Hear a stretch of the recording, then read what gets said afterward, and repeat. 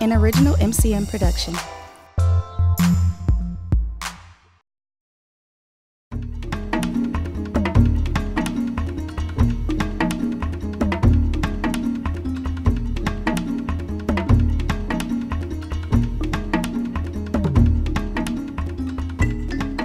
Good morning, community brainstorming. Good morning. Good morning. Thank you.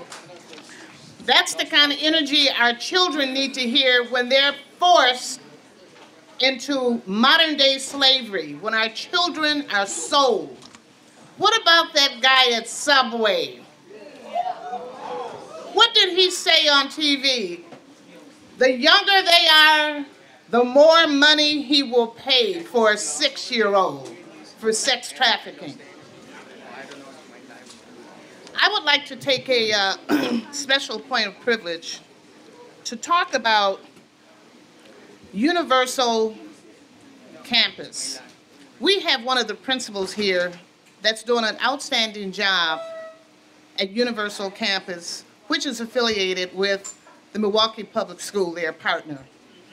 Raheem, uh, Kenny Gamble, Tosha Davis, uh, Bria Grant, and a number of other people are working extremely hard in our community, not only to educate our children, but to also be involved with civic engagement and the economic development of our various communities. So I want to thank uh, Universal and thank you for being here this morning. Okay.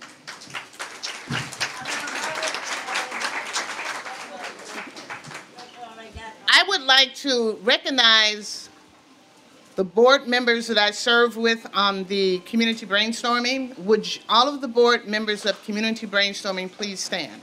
All of the board members of community brainstorming, please stand. All of the members.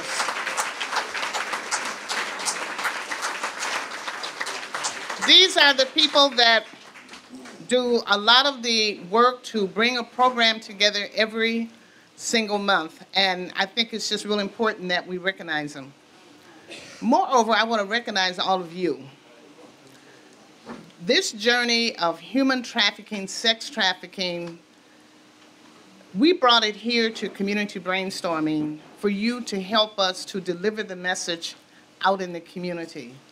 And by all the people I see here, you've done a great job, and I most certainly appreciate that, as well as our chair, Dana World Patterson. Give yourselves a round of applause, please.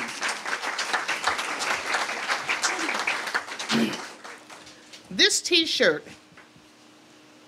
this T-shirt, who was this T-shirt uh, donated by? The woman that's going out the door. Frida, Frida Webb. Frida Webb.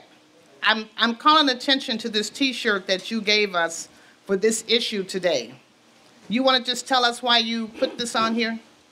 Uh, It was an effort on behalf of a number of people in our community to be goodwill ambassadors at Juneteenth Day, so we adopted, adopted the logo.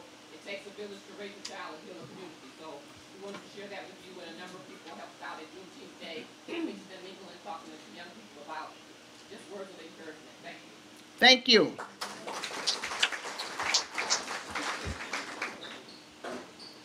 As uh, Pam said, my name is Martha Love, and I'm one of the board members of Community um, Brainstorming and have been for a number of years, and most certainly appreciate the opportunity to be here and bring to you very important issues that impact our community. We have an awesome uh, community panel here, Judge Donald, Dana World Patterson, Bevan Baker, our health commissioner, Faith Colas from the Salvation Army, Jermaine Reed from Fresh Start, is that right? Fresh Start, Brenda from uh, NAMI, dealing with mental health.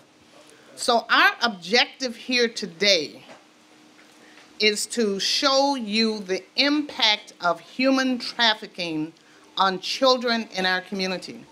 And I have one of my mentees here. You want to stand up, Jada Vukovic?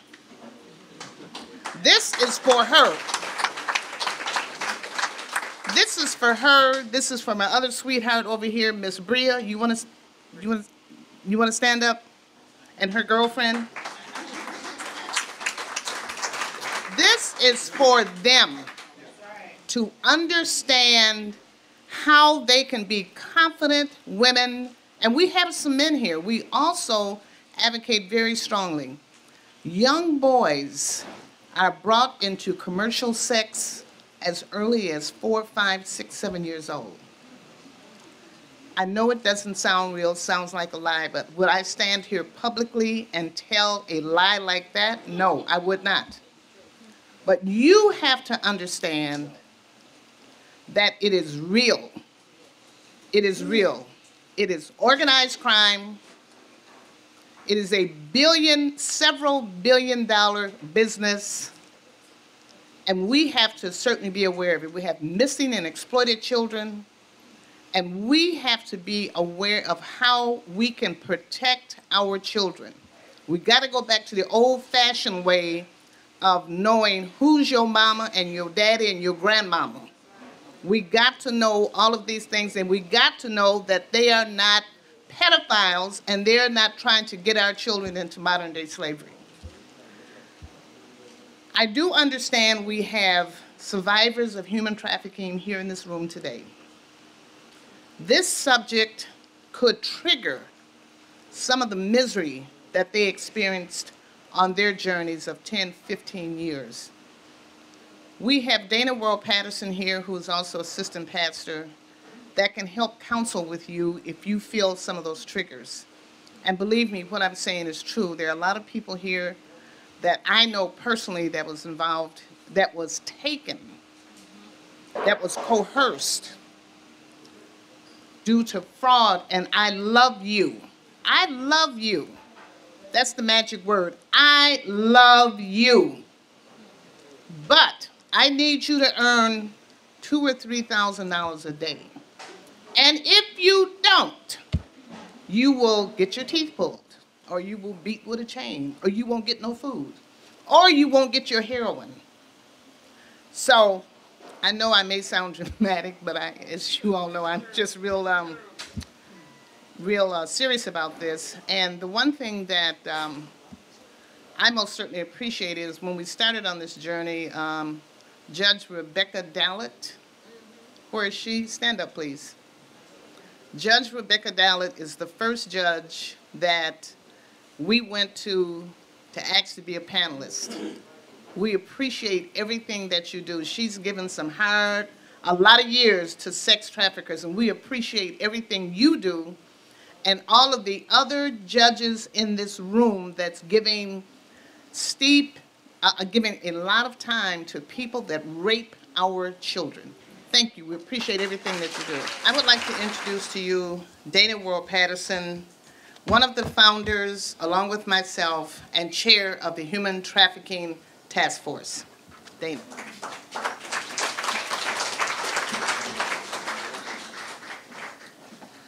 Good morning, everyone.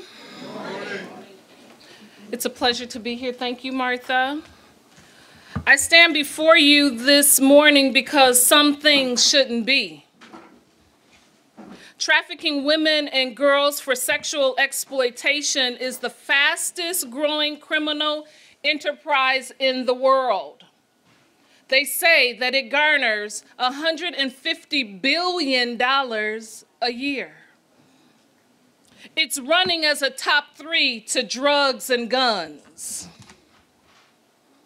And this is despite the fact that international law and the laws of 134 countries criminalize sex trafficking. Some things shouldn't be. Yes, human trafficking is happening in faraway countries and to those women and girls, them over there. And that shouldn't be. But it's also in our backyard. Former General Attorney J.B. Van Hollen said human trafficking has occurred in all 72 counties. Sex trafficking is a human rights violation some things shouldn't be. Colab, a sex trafficking survivor, said, They forced me to sleep with as many as 50 customers a day. I had to give the pimp all my money. And if I had not earned a set amount, they punished me by removing my clothes and beating, me, beating me with a stick until I fainted electri- electrocuting me and cutting me. Survivors of sex trafficking tell stories of daily degradation of mind and body. They are often isolated, intimidated, sold into debt bondage, and subject to physical and sexual assault by their traffickers. Most live under constant mental and physical threat. Many suffer emotional trauma, including symptoms of post traumatic stress syndrome, PTSD, and disassociation. They are at a greater risk of contracting sexually transmitted infections, including HIV, AIDS. Many become pregnant because Johns prefer no condom and are willing to pay extra. Hence, they have to forego often unsafe abortions. Many, and we say some things shouldn't be. An estimated 30,000 victims of sex trafficking die each year from abuse, disease, torture, and neglect. And I don't know about you, when we heard a few days ago that the woman was found burned to death, the thought came to mind. 80% of those sold into sexual slavery are under 24, and some as young as six years old. Martha Love and I met a woman that was sold at four by her father. 13 is the average age a girl domestically is trafficked, and that number is becoming closer to 11.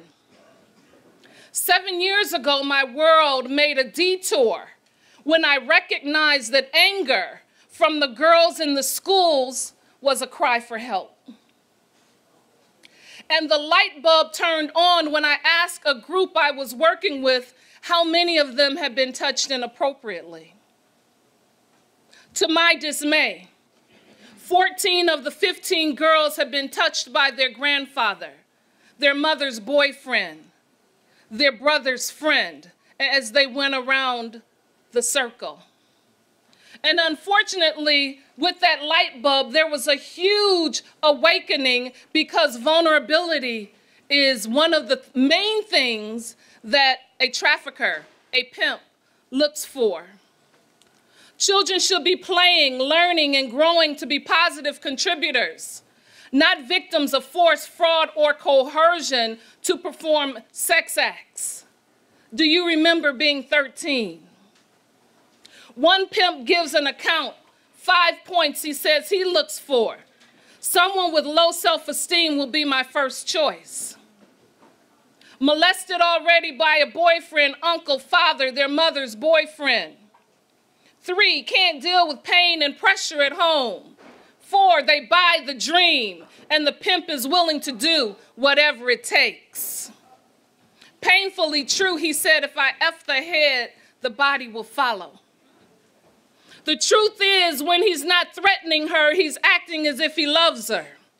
Truth is, they trade women and girls like they trade baseball cards.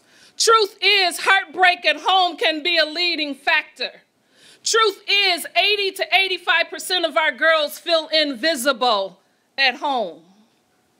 Another convicted felon, another convicted trafficker said, you can buy a woman for $10,000 and make your money back in a week if she is pretty and young.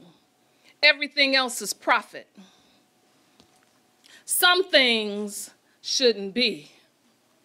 Human trafficking is often a hidden crime. It lurks beneath the surface. And accurate statistics are difficult. Say difficult. difficult. They're difficult to obtain. We'll share these statistics, but we know that these numbers are low. Researchers estimate that more than 80% of trafficking victims are women. And if 80% are, are women, 50% are children. Milwaukee is known as the Harvard of pimp school and the hub of human trafficking. And although I've looked, we can't find where that's documented. But the fact that it remains true in someone's mind is reason for us to pause and pay attention. We're dealing with the unthinkable.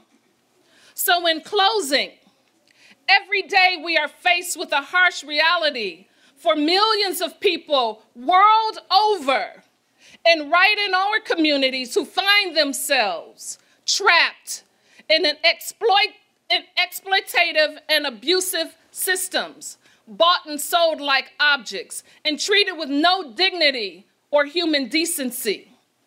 All forms of modern day slavery share some common characteristics.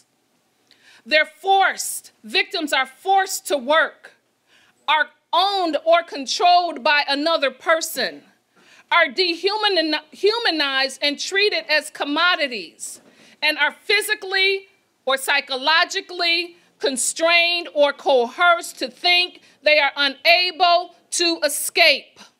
Yes, there is an invisible fence. We know of accounts of women rescued from cages in Milwaukee. Women who were chained in closets. We know of women who every day have triggers from sounds and smells. Women with screws and bolts and brandings in and on their bodies. Women that must face the door with an exit plan. And those who didn't begin to feel until many years after the life. I stand to represent a community of people that say, some things shouldn't be. And that help is here for your hidden wounds. Now I'm asking you, will you stand with me and those others in the community when you hear of a strip club who sued the city of Milwaukee and they will try again September 17th to receive their license? Will you stand with me and others and be a nosy neighbor? Will you tell the truth to your women, to the women, to the girls, to the boys, to the men in your family when they say they want to have a, a, a bachelorette party? Will you speak to your boys when they're asking their friends at school, their girlfriends at school to call them daddy, that that's inappropriate? Will you talk and will you stand with me and just beat the drum and tell the truth that this is happening in our community. And as shameful as it is, it's us, the community, that's going to make a difference. Will you stand with me when you see something? Will you say something? Will you do something? Because some things shouldn't be.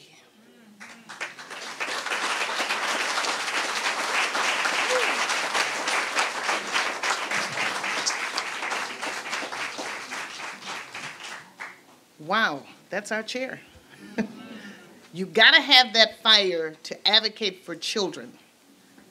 We say children because there are so many people that we just can't save because they're so into what has happened to them and they just don't see a light at the end of the tunnel.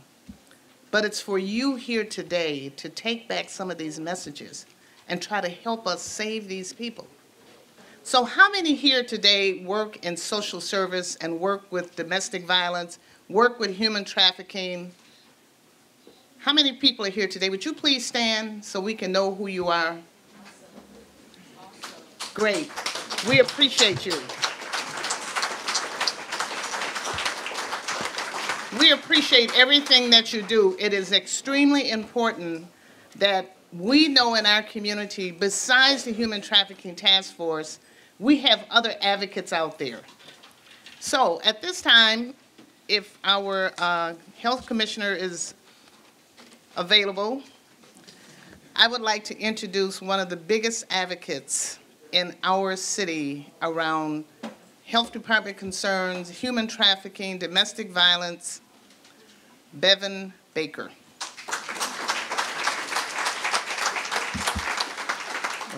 Thank you, thank you very much, Martha, and thank you all for being here um, this, this morning for what is uh, truly a, a community issue, a public health issue, and a global issue. Um, Glad to be here, as always, on behalf of our mayor and all the men and women in the health department that allow me to do the work that I do.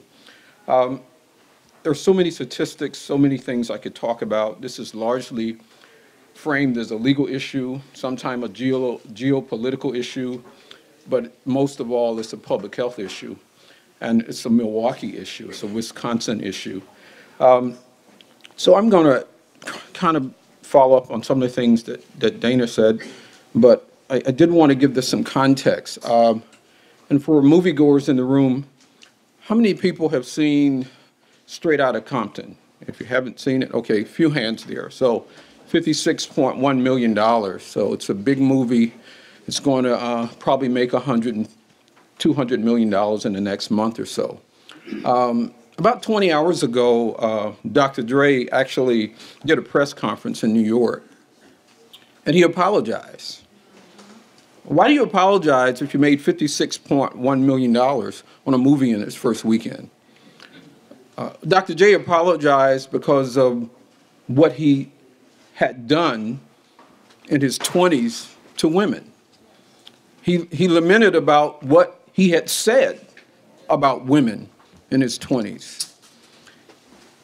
He talked, he talked about the culture that he created about what he said about women. He's 50 years old. He's half past autumn, and he's coming home. So, as we begin to dissect why we have this issue of human trafficking, see, nothing can survive, no organism can survive unless it's being fed. It has to be fed by something, it has to be created by something.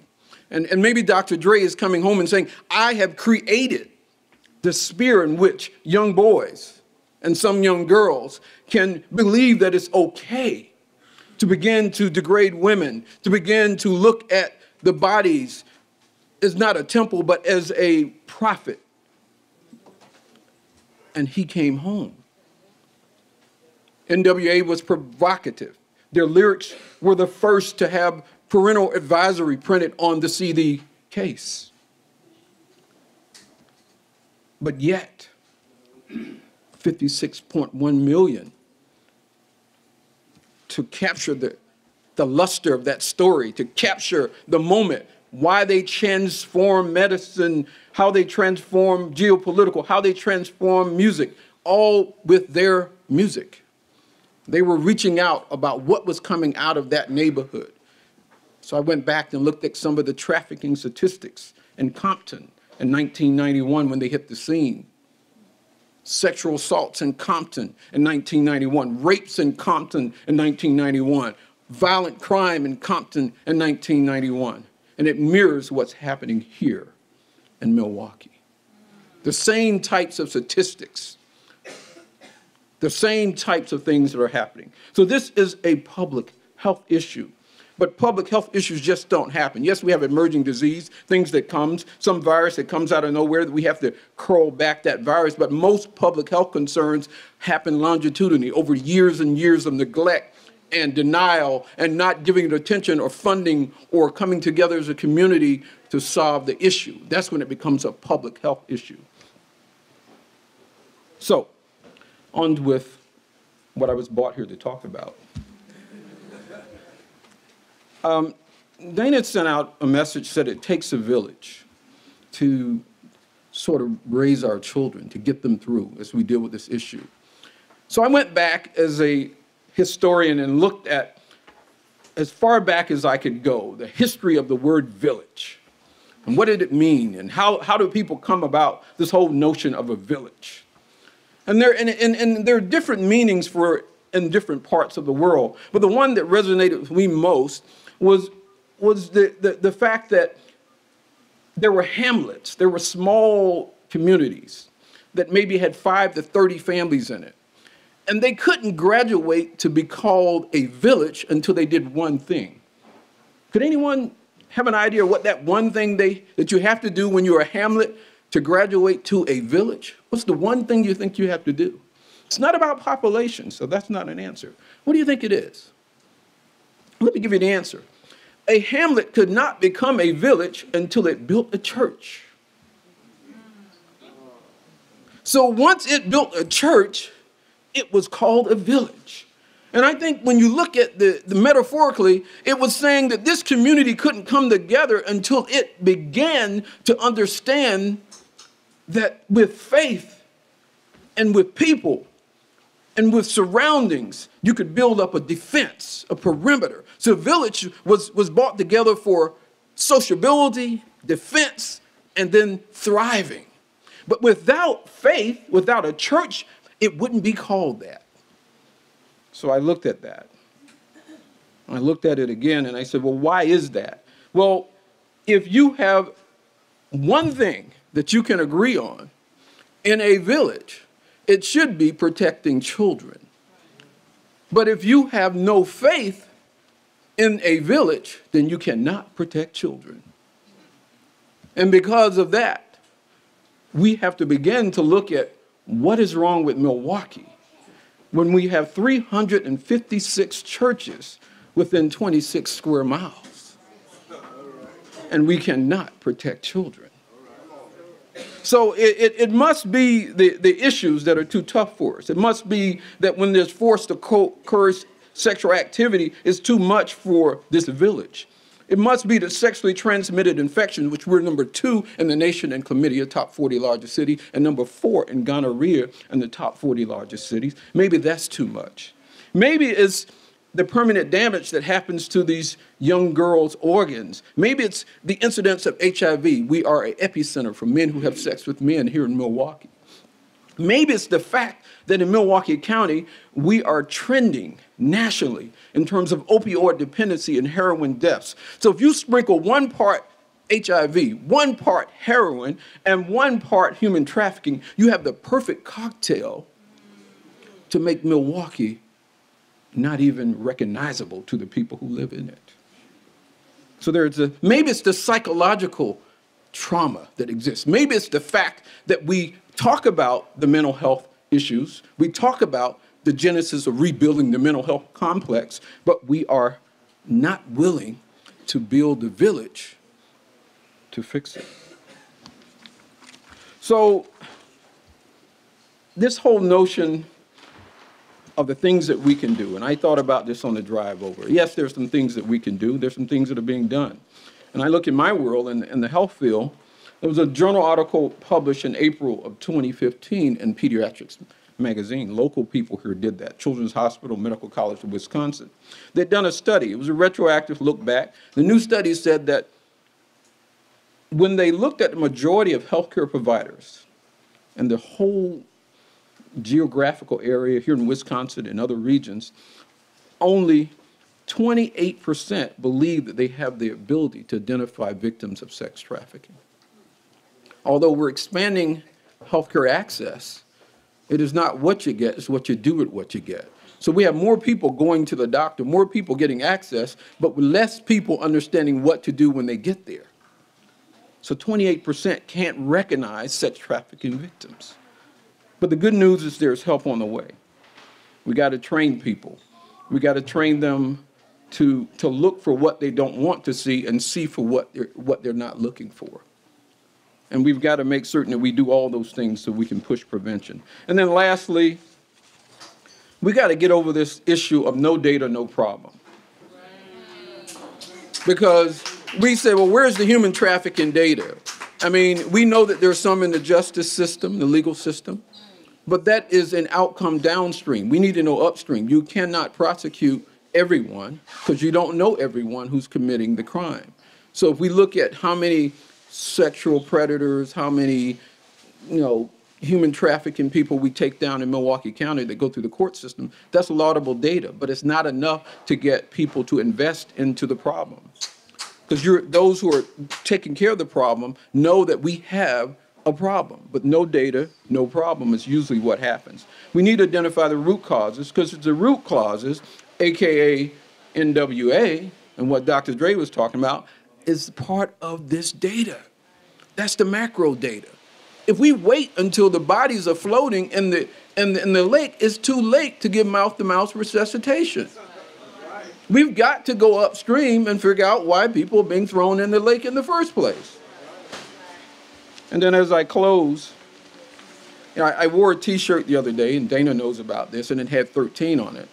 So someone, I was in a checkout line, and the person asked me, was that my shoe size?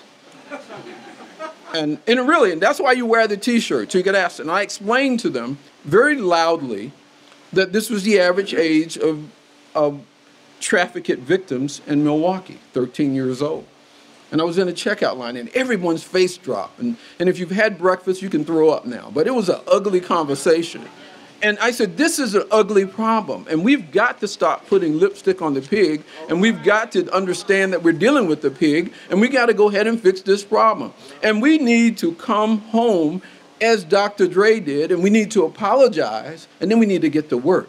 Because this is our problem because of what we have not done, what we are doing, and what we fail to do in the future. And Dre got that. And I couldn't listen to his lyrics in 1991, and I can't listen to him in 2015, but I did hear his apology. I did hear his cry. He's thinking about it as a father, as someone who has children now, grandchildren. He's thinking about what he needs to do to change this sphere and this problem that we have. And that's my call to you. No more statistics. No more lying. 356 churches. We are bigger than a village. But until we acknowledge this problem, it will still take a village. Thank you very much.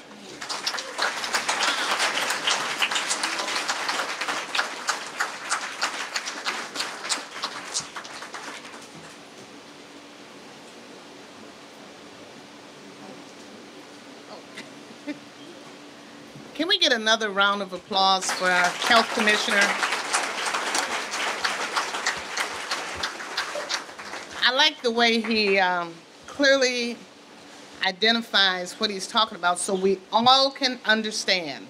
He's talking about sex trafficking and what is your responsibility now. I want to tell you a story about a woman named Con- Constance Stark. You can look her up on the website. Constance Stark, her father realized that the way for he and his wife to maintain themselves was to start selling her at four and a half years old. They sold her, and like she said to Dana and I, she never had a childhood, she never had an adolescence. So, Constance also said she has something called disassociation. That is when you're being raped repeatedly, you're being punished, as she was told us, as later in life she discovered that she was a lesbian. So the men that purchased her thought, wow, she's a lesbian, so we can buy her and just do you know what until she's no longer a lesbian. That's how stupid people were. But Dana and I were at the University of Madison, and she was one of the panelists. Her name is Constance Stark. Please look her up on the internet. She's an artist now, and she does a lot of things from a disassociation point of view. And that's a word that we need to start learning. It's disassociation because as these young women and boys are being raped, that's where they go. They kind of they, they go away. They, they just go away. And uh, survivors, as I've indicated, if this is triggering anything, please, Dana is available. That's why I had her go on first. So at this time, I would like to hear from Jermaine Reed. Jermaine Reed is an on-air personality now, even though he's with Fresh Start Today, and he comes on every Wednesday on WNOV at 3 p.m. So Jermaine is going to start talking about the vulnerabilities. Then we'll go to Judge Donald that will talk about things as it relates to the courts. Jermaine.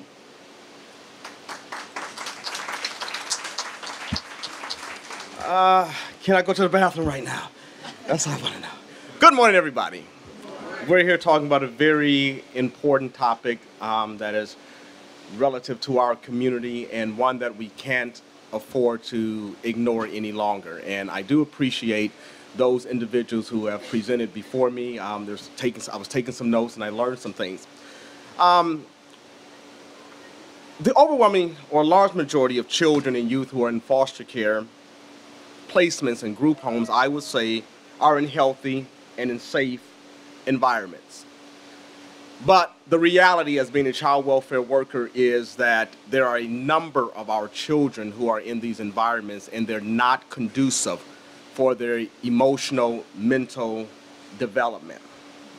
And how it is undeniable that most children and youth who are victims of commercial sexual exploitation have been involved with the foster care system at one point in their lives. And according to one research that was done, the OLP Foundation and Human Trafficking Search Network, they indicated that not only that a large percentage of these young ladies who come into care or who are rescued from um, raids on trafficking, that they come from foster care community, but the traffickers themselves, 25% come from the foster care community.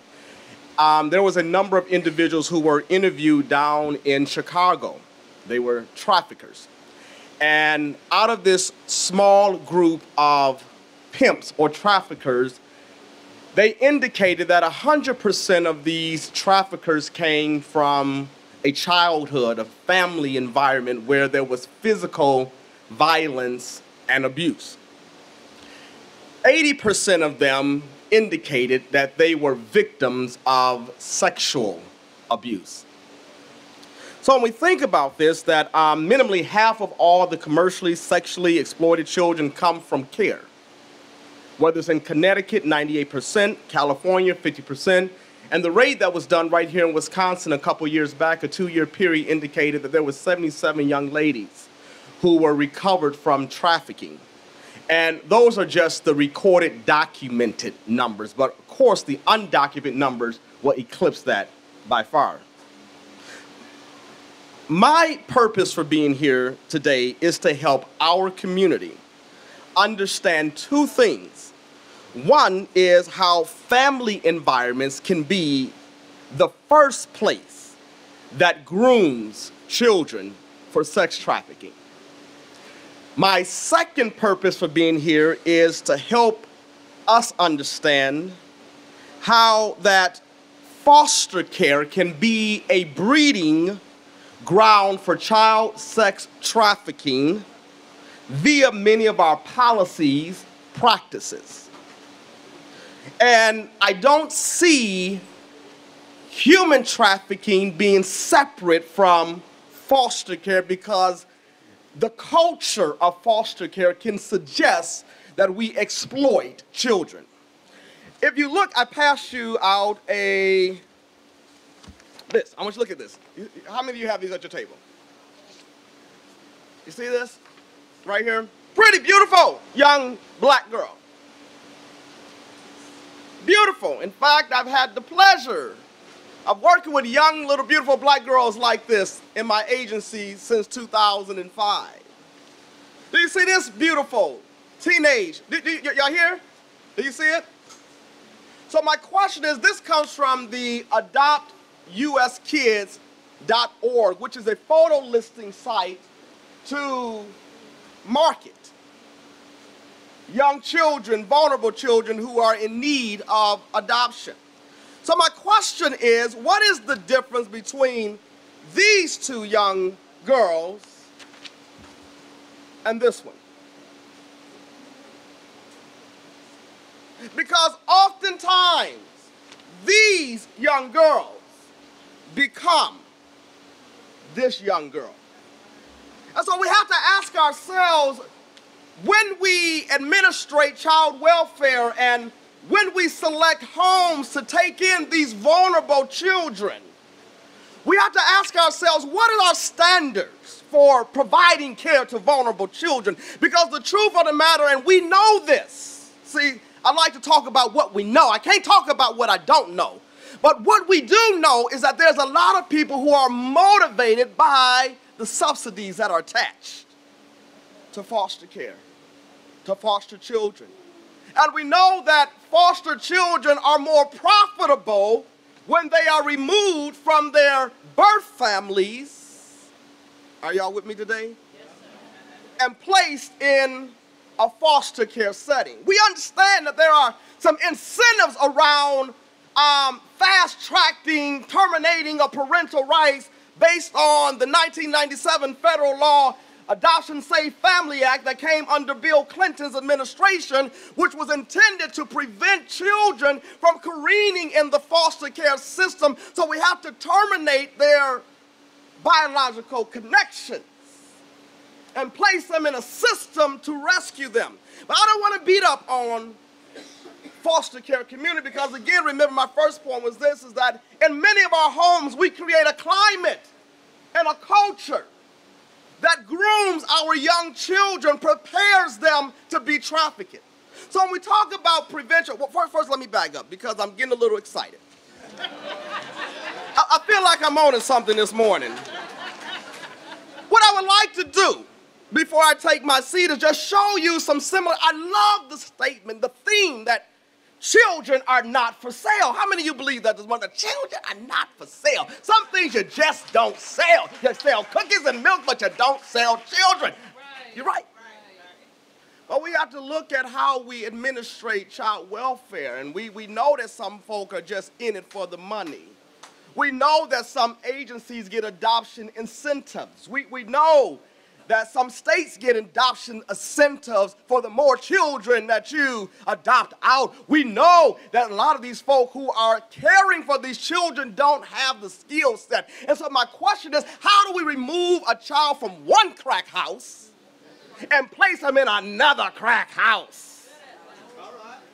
How do you place them, take them from one unfit environment with a single parent mother who's living beneath the poverty line with multiple children, no man around, only to place them in a home with a single parent mother living underneath the poverty line with multiple children? Because we found out that children are profitable. So I'm challenging you this morning not to sell children. So let's look at some similarities. With human trafficking, we've established that it is a $150 billion industry where children are exploited. Foster care is a multi billion dollar industry where children, can I get a witness, are exploited. Large numbers of victims and human trafficking, you know what color they are? Black. An overwhelming number of black girls make up the foster care. Can you make the connection? There's this thing called placement instability and human trafficking. We move these children, these young ladies around from hotel to hotel, from city to city, county to county. Guess what we do in child welfare? We move them around. They're always in transit. We move them from home to home, from agency to agency, from county to county, from city to city, until that child learns. You know what she learns? She, she learns one that there's no thing called stability and I'm transit, but she also learns that the value that I bring to a relationship, whether it's my pimp or my foster parent, is based on the money that I bring to this relationship. They're commodified. And we understand something, let me say, that there is, um, that, that a lot of these children are viewed and treated as collateral. We understand that they have value. We also understand that it's a competitive market out there for a pimp. It's hard out there for a pimp. He got to make sure he's on his grind. Well, you know what? When we get those referrals on a weekly basis from the state, got one yesterday for some infants. And we know that infants are most desirable. And so everybody vied for trying to get those infants into their agency because with those infants come dollars. So how do we, what do we do? What do we do, Jermaine? What do we have to do?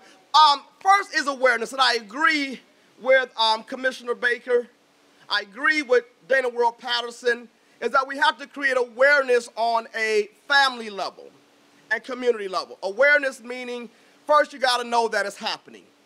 The second thing is you have to know how to identify, like Commissioner Baker said. Then we have to do the prevention thing. And prevention thing, if we know that 93% of all sexual abuse victims know their assailants, 93%. It was either a family member or it was someone closely associated to the family. So, so we can cure this, we, we can address this simply by doing this. Grandfathers, fathers, uncles, brothers, male cousins, stepdaddy, and mama boyfriend. Keep your privates out of children. Oh, we can cure this. This is what, mother, this is what we can do. Since 93% of all the sexually abused children or victims know and have a relationship with their perpetrator, their uh, perpetrator, wh- what they need to do is fathers, grandfathers, uncles, brothers, male cousins, mama, boyfriend, and stepdaddy keep your private out of children. That's what we do. It's real simple. So that, that's, that's prevention. That's somebody say that's prevention. The next thing that we can do um, is intervention, which is cooperate among stakeholders. Everybody coming to the table, pooling our resources and getting on the same page and sharing the same message and having the same mission. So that's basically what I have. I could talk all day, but you know what? I want to give space for these other beautiful people.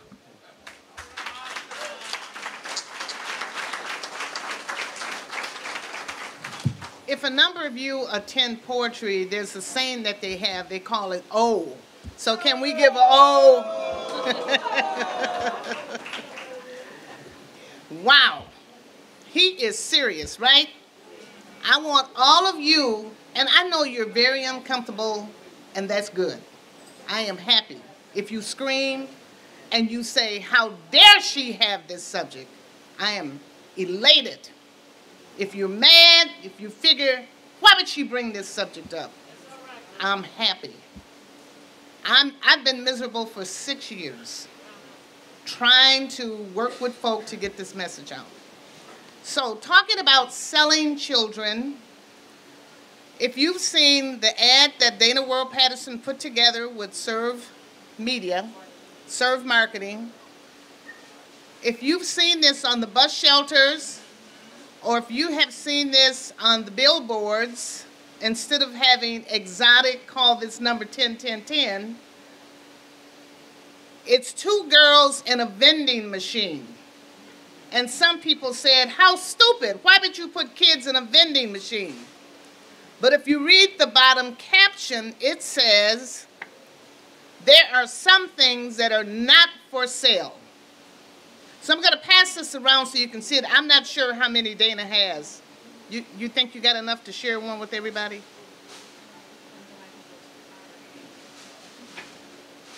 Okay. So at this time, I would like to introduce to you a friend. He's a judge in our community, been a judge for a long time. He's running for a higher office, and we need him in place. You'll agree with me when he's finished. We talk about vulnerabilities and we talk about victims and we talk about getting justice for victims. Judges, thank you. Gramling, thank you. Rebecca, uh, Bradley, Bra- Judge Bradley, Laura Gramling, thank you all. And of course, Myers, you will be another one that's a freedom fighter for children and making absolutely sure that children get justice. When these pimps, these traffickers, these monsters go to court, you do the right thing. Judge Donald. Your third friends. Good morning, brainstorming. Um, I, I am delighted to be here and I'm delighted to be part of this panel. I have to say, this is a really a dynamic panel and uh, I, I'm getting an education this morning. And so when I was asked to be part of the panel, I thought about exactly what I was going to say. And I didn't want to, you know, I, I did some research. It's easy to get, to get the statistics online. We all know the numbers, we all know the problems. And I wasn't quite sure if me getting up and talking about the statistics again was going to kind of help bring this issue home. So uh, I'm going to change my approach a little bit because you've, you've heard from some very dynamic speakers about what the problem is and how big the problem is. So I'm going to kind of focus into um, how the problem ended up on my bench, in my docket. So yesterday, um, a case came in, and I thought, oh, this is very appropriate because uh, Saturday I will be speaking on human trafficking. And it's and the, the charge, the complaint is uh, trafficking of a child. It's uh, 948.05, uh, 1, paren 1, which is a Class C felony. It has a maximum fine of $100,000 and a maximum period of imprisonment of 40 years. Now, the sentence is bifurcated, so the maximum term of confinement is 25 years and it can be followed by 15 years of extended supervision. So that's a long time. That's a, a long ass time. So, so uh, I, I'm just going to kind of read to you the complaint and then kind of talk about sort of how difficult this problem is.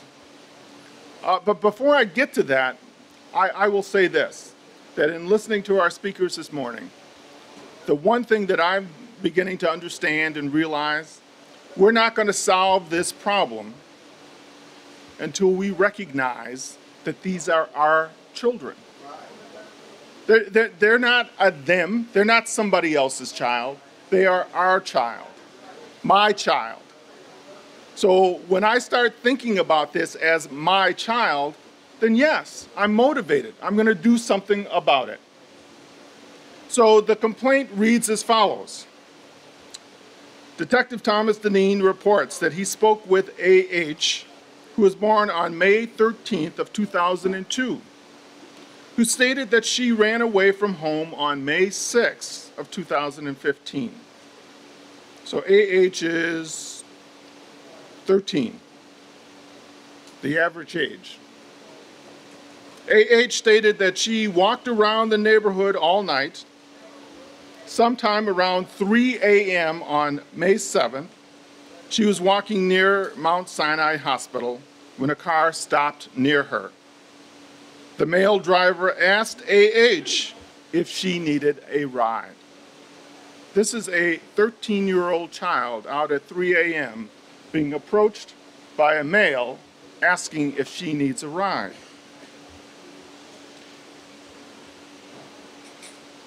A.H. told the driver that she had nowhere to go. The female passenger, later identified, and I'll just say J.M., the defendant, offered to let A.H. stay at her house. And A.H. got into the car. The male driver drove A.H. and the defendant somewhere near 29th and Center. When A.H. got out of the car, the male driver tried to keep A.H. from leaving. The defendant, then the defendant and A.H. walked away. The defendant told A.H. that they were going to go and be outside until late Friday night. The defendant told A.H. to walk down the street and to act normal. The defendant told A.H. that she was going to make some money. The defendant started flagging down cars. When one pulled over, the defendant got in the car, which then drove away. A short time later, the defendant walked back to AH before flagging down another car and getting in and driving away. A short time later, the defendant walked back to where AH was and asked if she had made any money. When AH told the defendant that she had not made any money, the defendant became upset.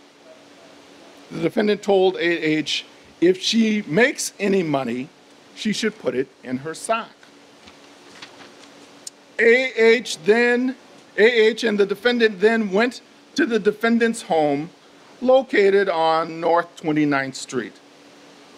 The defendant went to the basement where she smoked a white chalky substance, which AH believed to be crack cocaine. The defendant had purchased on the street for $10. They woke up in the morning on May 7th around 10 a.m.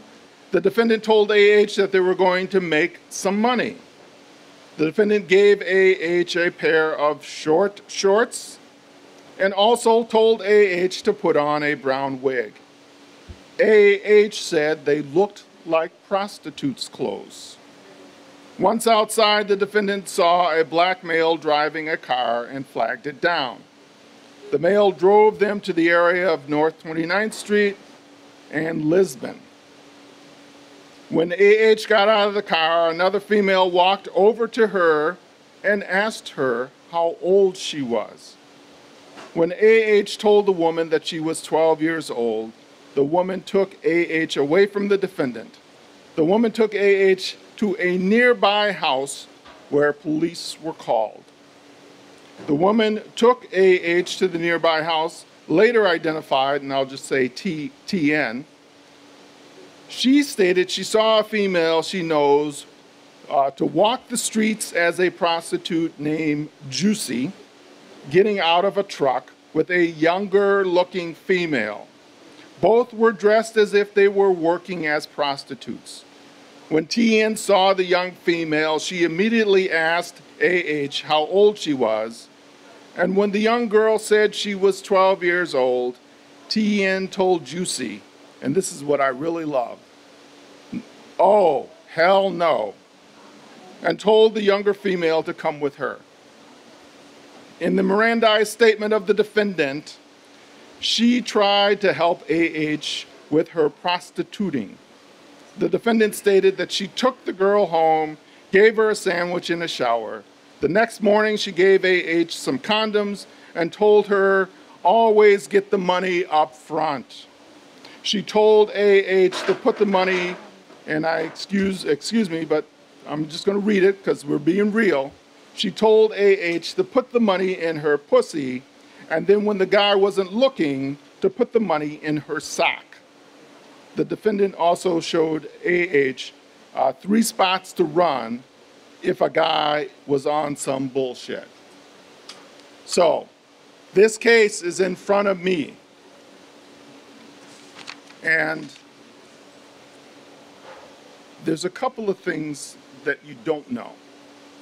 Because the defendant, who essentially was trafficking the young girl, was a person that I had as a judge at children's court.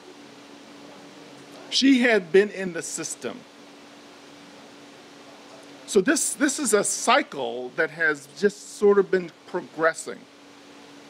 And uh, I'm of the opinion that until we start creating resources where we can put these young children, because when we essentially take the runaways and lock them up in juvenile detention because they won't stay put, is adding more trauma to their lives.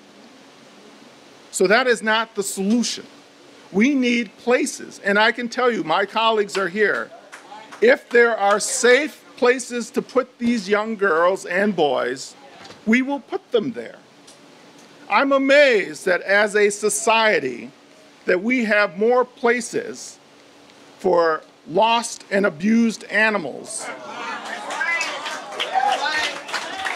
than we have for our children. So I'm not going to try and blame any one part of the system because I'm in the system and I see it on a daily basis. So I'm going to accept my role and my responsibility. But I think it is incumbent upon all of us to realize that these are our children. And we all have to accept our responsibility.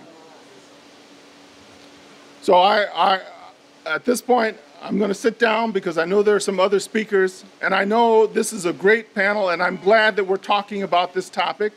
I can tell you that I've been provided with some amazing handouts that give us a definition, that gives us a language and a basis in which to have this conversation.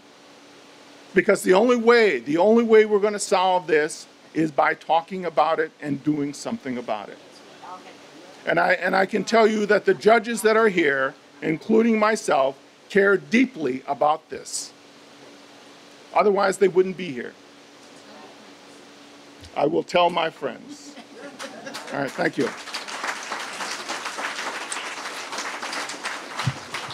Let's give Judge Joseph O'Donnell an O. O. I would like to recognize my alderman and the author of the saying, nosy neighbor, Russell Stamper Jr. You see, he has a lot of aunties, right? I want to get something for you.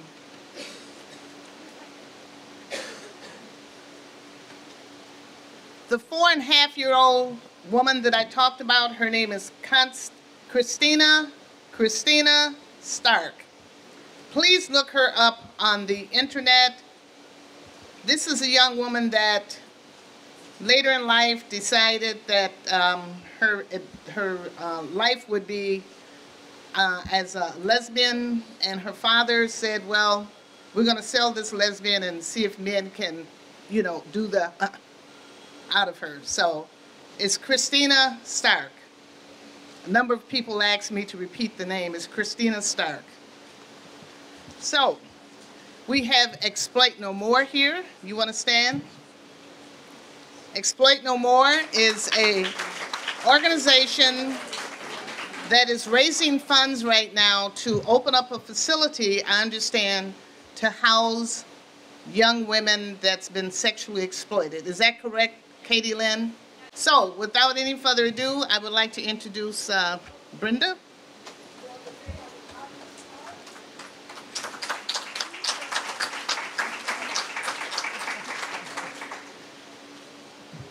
Brenda from, from NAMI. I had the opportunity to hear her do a presentation um, over at the Coalition for Justice yesterday, and she's been out here herself fighting the fight as relates to mental health. Brenda. Good morning, everyone. I'm going to come to you at the perspective again of mental health and mental health issues. But also, too, is that I'm the Director of Education and Outreach for NAMI Greater Milwaukee. That's the National Alliance on Mental Illness. I remember 10 years ago, I presented in front of the community and brainstorming in regards to my journey with mental health issues in our community. So when we talk about a village and what it takes in order to protect our children, it's a village. I have a son that lives with a chronic mental health disorder, uh, schizoaffective. He is not doing well at all. Um, Martha talked about dissociative personality disorder. That's what he has.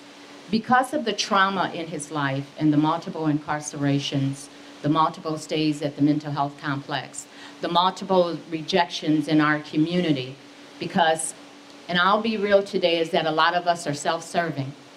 A lot of us don't want to get involved. It's your problem. It's not my problem. I'm doing fine. So you deal with it. You deal with those bad kids. You deal with that because I'm doing just well. And so we have to come to the perspective of the village.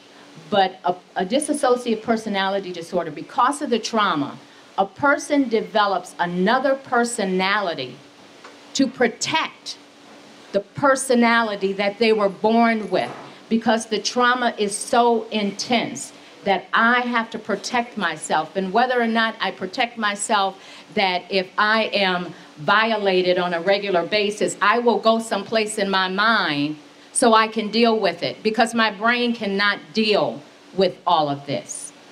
I also have a sister that was raped when she was 13, post traumatic stress disorder she lives with, bipolar disorder she lives with, got into prostitution, not feeling well because the village was not there for her. the village was not there for my son is that my sister now, and I don't know where she's at because she is heroin addicted. So when we talk about the village, so I'm going to talk about the perspective of mental health. We have in this umbrella of mental illness, we address bipolar disorder. We address schizophrenia. We address anxiety disorders. We address OCD. But one thing as I dug myself into learning about mental health is that trauma and post-traumatic stress disorder in our community, we are so unhealthy that we have normalized behavior. We have normalized that. And when we talk about the monsters and the pimps, who made those monsters? These young men and women are raped in their homes on a regular basis. But do we talk about it? We say, no, don't you go to school and talk about that. We live in poverty. We live in despair. We live in violence. And as a child, when they're growing, this brain of ours is so complex that the brain becomes to be rewired the wrong way. So we develop such unhealthy coping strategies. And our kids, we don't want to listen to them. Our children can come to us and talk about depression. They can talk about anxiety. They talk about their fears. They may want to talk about sexual assault, but what do we say to them? Get over it. It ain't that bad. I ain't got time to deal with this. Go to school, get good grades. But until we deal with the underlying issues in our and we got to be real in our unhealthy community because of all of the despair, because of all of the trauma. So we don't create the pimps. Why, why do you think that young men and men think it's okay to do that to a female? Was he raped? Are we looking at the backstory? Was he raped as a child? Was he violated when he went into prison and then when he comes back out, we say to him, well, you're free now, so you go get a job and you're okay. But does anybody want to talk about how I'm dehumanized when I'm in jail and when there's a cavity search, I got to drop my pants and have people go up my butt constantly, excuse me. But we don't want to talk about that. We just say, you're out of jail, just like the young ladies and men when we take them out of the sex trafficking field. What are we doing to help them with their mental health? Because what they have become is that have, they become sexual creatures. They don't know any other way to survive because their brain has is rewired in a very unhealthy way. So what are we going to do for these young people when we do get them home? And then when they start acting up or when they aren't unable to get their lives together, are we going to say to them, well, what's wrong with you? We got you out of this. We tried to get you a job. You're not acting right. What do you want me to do? But have you really addressed those underlying issues of that trauma that that child or that adult has to deal with? If we're talking about young ladies and men at the age of seven and eight, when we do get to them, what do you think they're like? I mean, some, you know, like I said, we, we, we tell them that we got you out and now you're out here and you're free and, and life is great. But no, I have to deal with that trauma all the time. My son had, he said something to me before he got really sick. He said, do you know what it feels like to wake up every day and not know where you fit in this world? And this is what we're doing to our children too. Where do they fit in this world? How do we make a difference? Touch one, reach one. If somebody wants to talk to you, if a kid wants to talk to you, will you talk to them? Or is it that way, if I talk to them and they tell me that they got a problem, then that means I'm gonna have to do something about it. But you know, I'm supposed to go to the movies. So I can't deal with that. If a kid is in school and they need to talk to a teacher, well, I can't deal with that because I have to make sure that I get these scores up. So we really need to start that discussion about the secrets that we have in our families, the secrets that we hold, because we pass this on. This is generational. These secrets are generational. This just didn't happen yesterday. The violence just didn't happen yesterday because we became self-serving about what we wanted. That village went away. And when, we, when you look at foster care, there was a time that kids didn't go to foster care in our community. Mama took the kid, aunt took the kid. But then now what we do is that in our community, we say, well, that kid is bad. Well, I don't want him in my house because, you know, I've got to do this and I don't want him to taint my kid and I don't want her to do this and I don't want that. So put him into foster care. But there was a time that we didn't let our kids go into foster care. There was a time that we didn't let our elderly go into nursing homes. We took them in.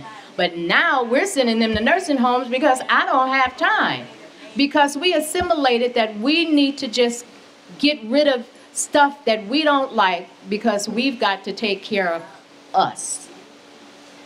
So what I've done, and my journey has been long because I knocked on a lot of doors. So when I say touch one, reach one, because a lot of people didn't want to hear what I had to say when I talked about trauma. The piece that you just saw from the young man, I wrote that piece because I wrote a production called Pieces in My Own Voice, where I actually talk about sexual abuse, trauma, mental health issues, where we go out in the community with a theatrical production to address these issues.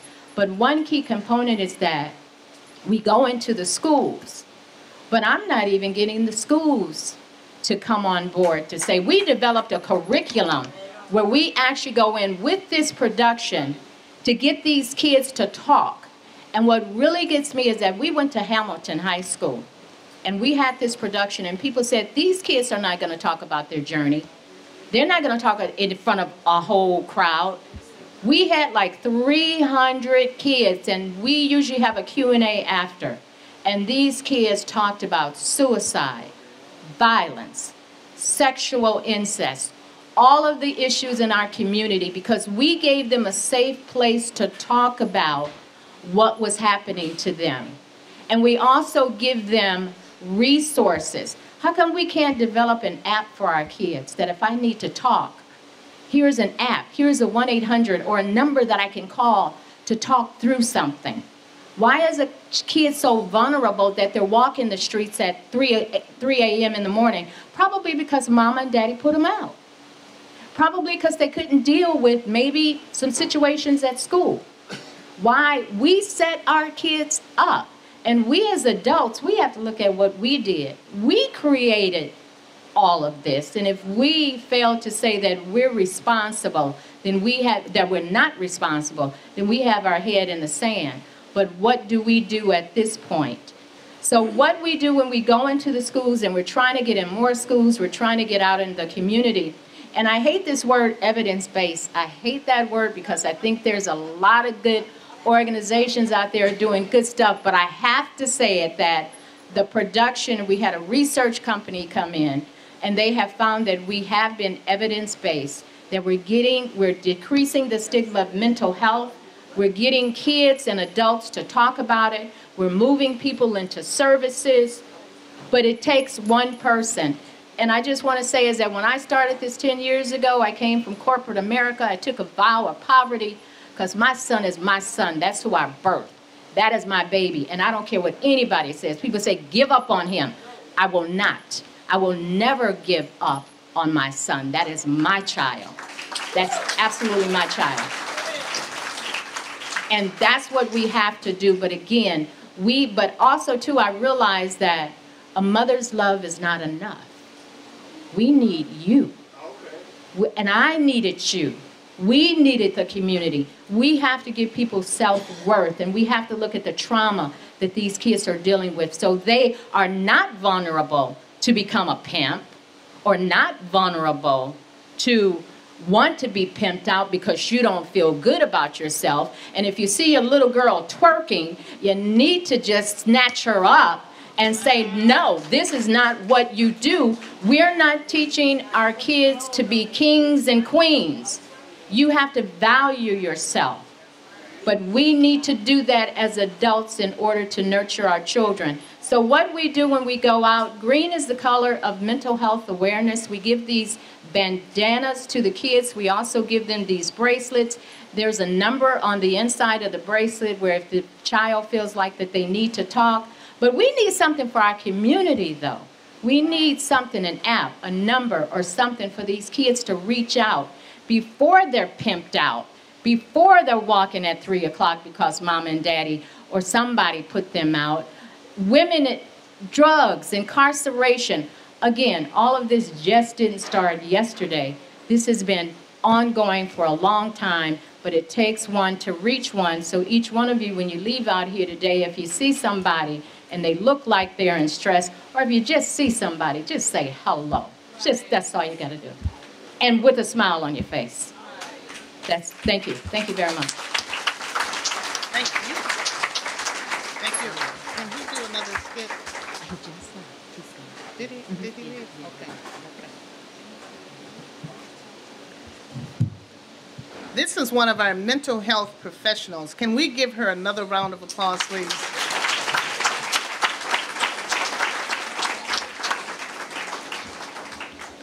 I would like to recognize our city treasurer, Spencer Coggs.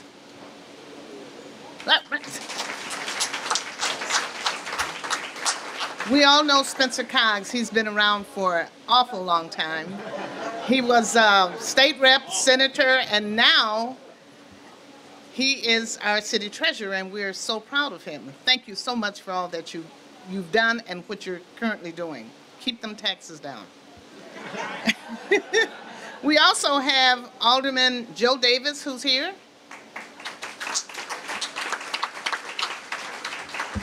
Alderman Joe Davis, when we had our first reception uh, explaining to the community about human trafficking, Alderman Joe Davis and his aide, uh, I call him DJ Sherman, he's a great DJ, everybody knows Sherman, uh, they were the first to really help sponsor uh, some of the activities of the human trafficking, um, human trafficking of Greater Milwaukee to help sponsor our reception, and we really appreciate that. Thank you so much, Joe.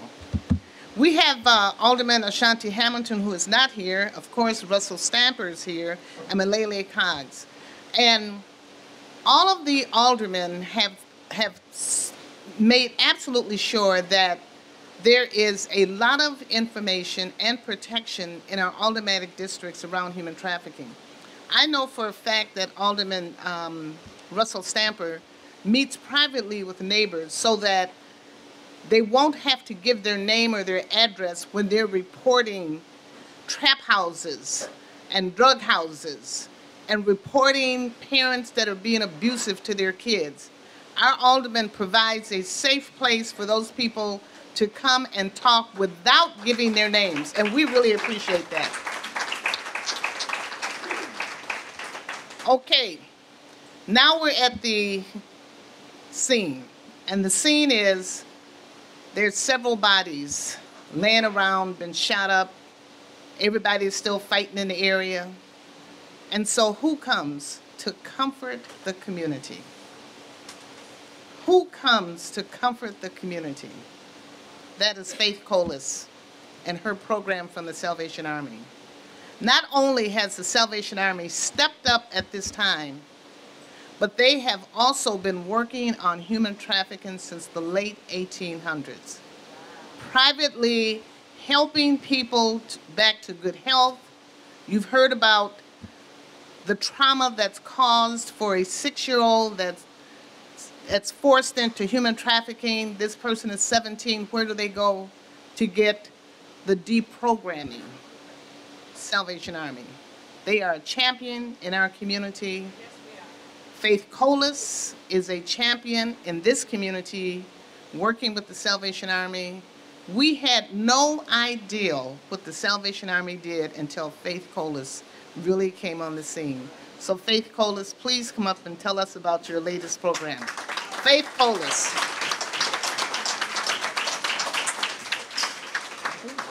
You. Good morning. Thank you, Martha. That was a great setup because this is a format for awareness.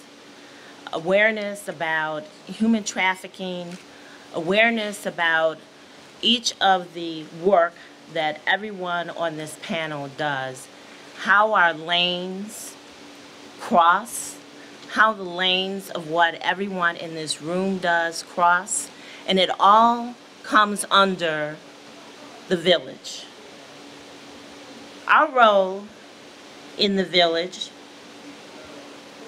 with the Salvation Army chaplaincy program is one of a ministry of presence. That ministry of presence and the chaplaincy program came about as a result of one of the lanes that I manage in my role as Community Relations Director for the Salvation Army. I got a call from Stephanie Finley several years ago about a meeting that was taking place with faith leaders at um, Progressive Baptist Church. And this group of leaders, about 10, was invited to be part of this group as a result of the work that's done out of the 7th District Police Station under the leadership of Captain Jutiki Jackson. I was unaware of this group, and one of my hats is to help the community understand that the Salvation Army is the largest social service agency in the world, but we're also a church. We have worship and community centers, four in Milwaukee County. As a result of going to that first meeting, I continued to go to those meetings because these faith leaders were doing really good work in their community. Adopt a Block programs, resource fairs, health fairs, back to school fairs, working with the aldermen and the county supervisors in their district, and again, working with the 7th District Police Station. With all of the violence that had begun to take place, um, Captain Jackson asked me, Faith, I think the Salvation Army could play a larger role with the City of Milwaukee Police Department in helping our communities with violence. We go into these situations, and when we leave them, we leave families that we know are hurting. We know they're broken. We know they need help. There's mental health issues. There are issues of continued violence. And it's not just with the family that has experienced that violence, it's the entire block. Everyone is upset, everyone is feeling trauma. And so we think that the Salvation Army can help with all of your resources that you have. You're a large organization. And so what do you think about this? It was it was perfect for a organization that is committed to serving others. And so we set about with leadership, um, pulling them all together, having conversations about how to execute this program, um, taking into account that there are many uh, chaplains and many clergy and many politicians and many other organizations that are all doing something in the neighborhood about violence, about mental health, about helping families find resources. We're just one of them. But everybody has an expertise. And our expertise is organization when it comes to disasters. And we find that violence is a disaster. We're living in a state of emergency in our neighborhoods. Salvation Army has been called out to the Sikh shooting. I was there for that, working with those families. We were called out to the Salon shooting. My husband and I were there working with those families. I've been to Joplin. I know what it's like to experience trauma. Trauma, whether it's from Mother Nature or trauma because someone in your family has been gunned down by another member of your family, it is trauma. And nobody cares what color you are when they need help, when they need someone to lean on, when they need a question answered. That's what they're looking for. And that's what we provide. We, together with the City of Milwaukee Police Department, uh, sat down and worked out this program, did all the crossing of the T's and dotting of the I's as best we could to address this. This is a reactionary program. Let me be very clear on that. Components of this program are proactive pieces. That's our Adopt a Block programs. That's all of the work that each of these chaplains do in this community. I have some of the chaplains have joined us today, and I just want them to stand because these are just some of the 53 men and women that went through the training um, that are doing the work every day. Can you all stand? Thank you. These men and women went through a four-day training, uh, courtesy of the Salvation Army, courtesy of the Milwaukee Police Department and, and other community stakeholders to make it possible for them to know what it is they're going to see when they go on a scene. We are called out by the Milwaukee Police Department to be present when there is a violent act that's taking place. Sometimes we're called out for a vigil. Our purpose there is a ministry of presence, just to be there. And let the family, the block, the people that are affected by the trauma tell us what they feel that their need is. And then from there, we can identify them with other agencies, many of the folks sitting here, many of you in this room. That is simply our role. One of the experiences that I've had recently was with a media representative. And I managed the media relations for the Salvation Army. And um, this was, unfortunately, the shooting and death of the young child in North Lawn. Our chaplains were there, and this media representative was there, was there with all of the others. And she said to me, there was such a calming effect when the chaplains arrived on the scene.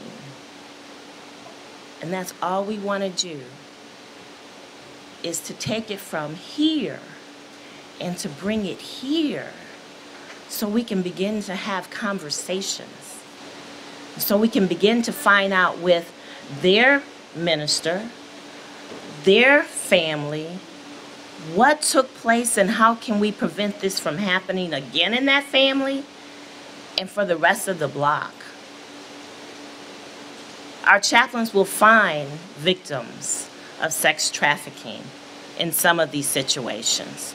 Who knows why a violent act really takes place?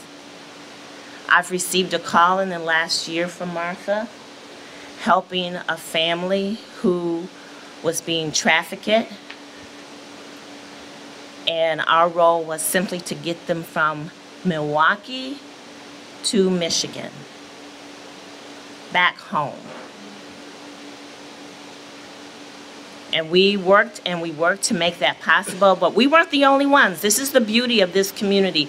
With all of our challenges, there are also lots of people that care and lots of resources available, but we weren't the only ones that answered the call for help.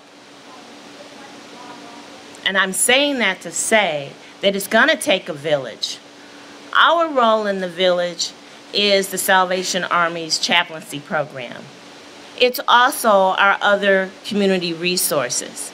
It's also when you visit Salvation Army at samilwaukee.org, you'll begin to find a link to other organizations. So if you have an organization and you want us to be a resource for you, so when we encounter families and individuals and boys and girls in need, we can send people to that website. People and their family can go to that website. Their home church can begin to work with the Salvation Army and some of these other organizations. It's going to take all of us. There's not one person in this room who doesn't have a family member who's addicted to drugs, who's dropped out of school, who's been molested, who's unemployed, who has a mental health issue. That's just five items. And like Brenda said, we don't want to talk about it, but that's okay. Get on the phone and call one of us and ask us for help.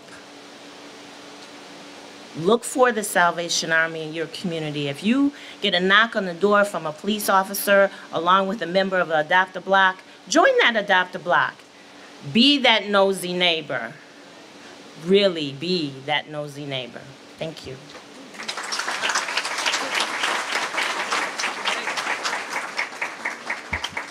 Okay, we're at the end of our program, but there's just a few more things, and I, I guess from our organization, I don't follow the protocol, but I'm really sorry.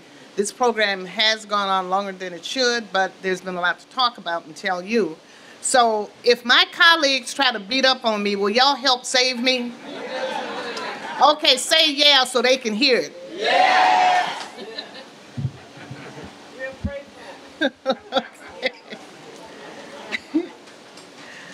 I would like to um, ask one other person to come up, and that's our state representative, LaTonya Johnson.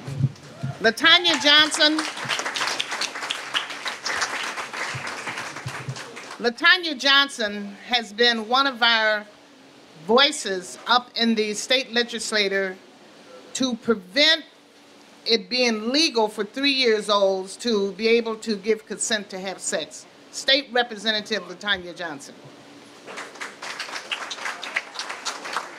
Hello, it's so wonderful to see such a vibrant, large crowd, especially surrounding this topic because human trafficking is serious in the state of Wisconsin.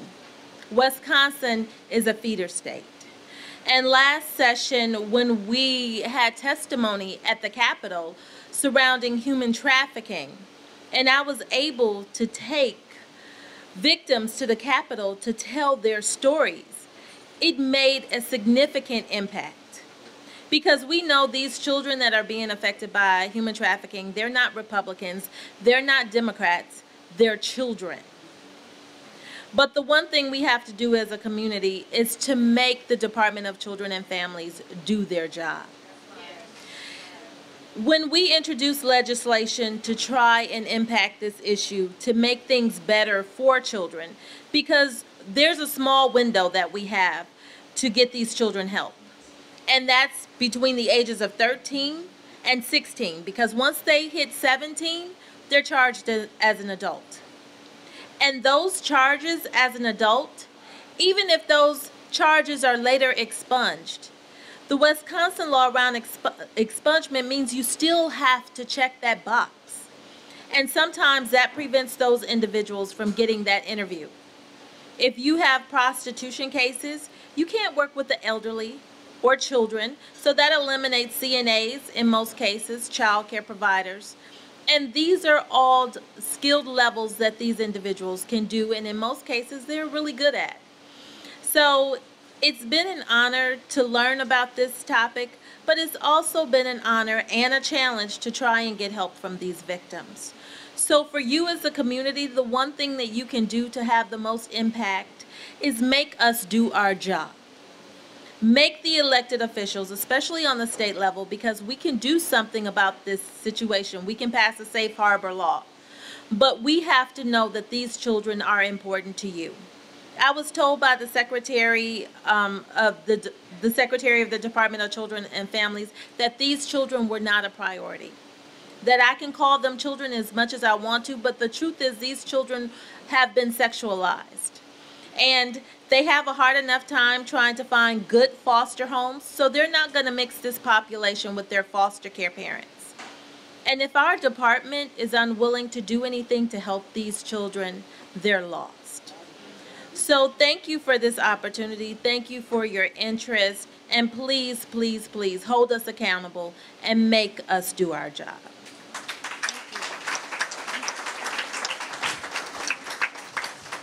Um, did anyone by any chance see Senator Lena Taylor? Where is she? I don't see her. Hi, Martha. Good morning. Senator Lena Taylor. Okay, we're going to conclude. Um, I just got a email, I'm sorry, a text from Keith Bailey, who's in North Dakota. They're out there to pick up some girls from Milwaukee, Wisconsin, who are being prostituted and are involved in sex trafficking. He apologizes to Dana and I that he's not able to be here today.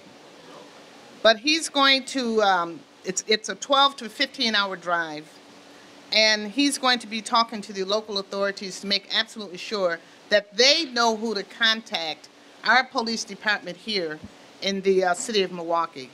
This is the kind of thing that we're talking about. Being in North Dakota in the oil fields, taking our 10, 11, 12, and 13 year olds out there for the purpose of commercial sex. This is what we're talking about, where we need your help. If you see something, do something. One more person I would like to introduce, and that's Minister Hunt. Elder, Elder Hunt.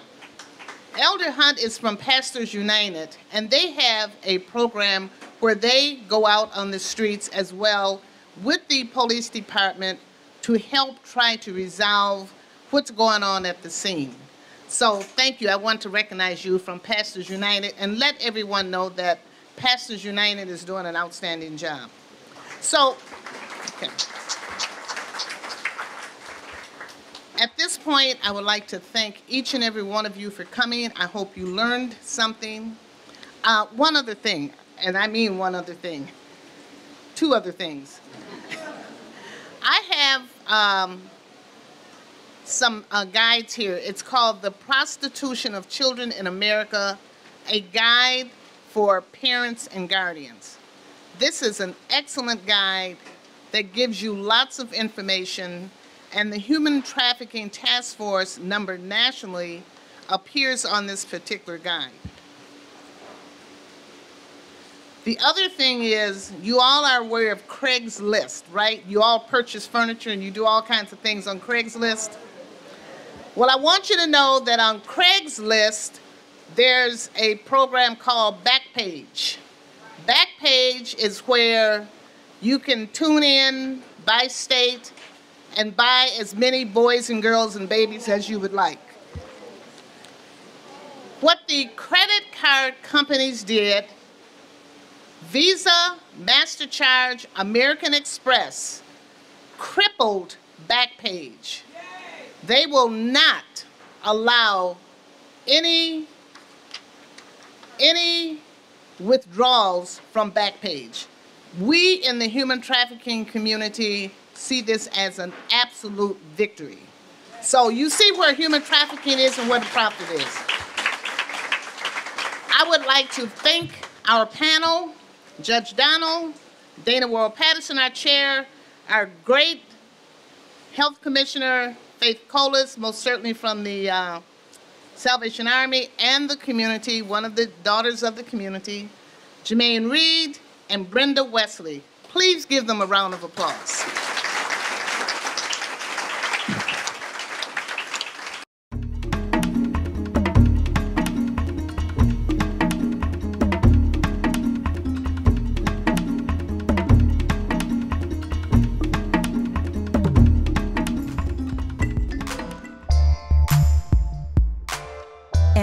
Production.